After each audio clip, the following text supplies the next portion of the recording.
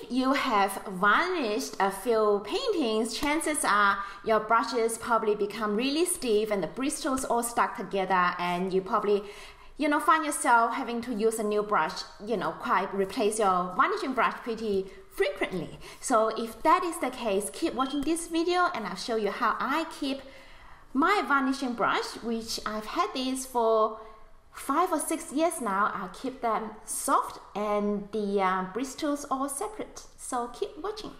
You've completed your painting, you've waited for it to dry, and you've applied your varnish.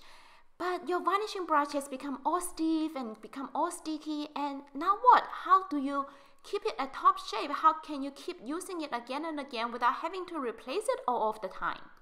Here is a closer look at this varnishing brush that I have that I've been using for five or six years now and see how soft the bristles still are. So um, in this video, I will show you how I keep them, keep my varnishing brush at this top shape. It is actually really simple. All you need is this brush cleaner. It's called the Masters Brush Cleaner and they come in different shapes. I've got the biggest size here because I use it not only to clean my varnishing brush but all my painting brushes too. And this one you can use it for any kind of mediums, watercolor, acrylics, oil paint. And I use it to clean my oil painting brushes and you can see those oil painting brushes that come with white bristles. I've used them for years and they are still looking pretty white.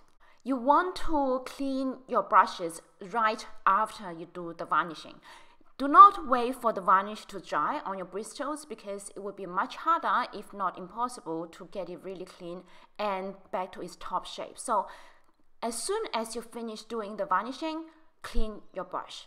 So normally I use um, warm or hot water and do it in my laundry room, but because there's no natural light, so I just clean that um, on my balcony and where I only have cold water, and that works perfectly fine too.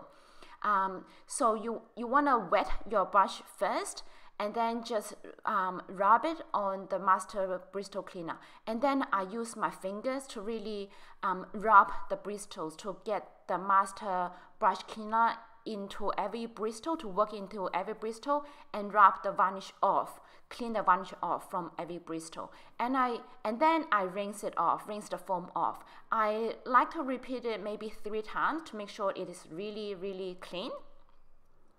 And I really clean as you can see clean the handle as well because sometimes the, the varnish get to the handle and it becomes sticky.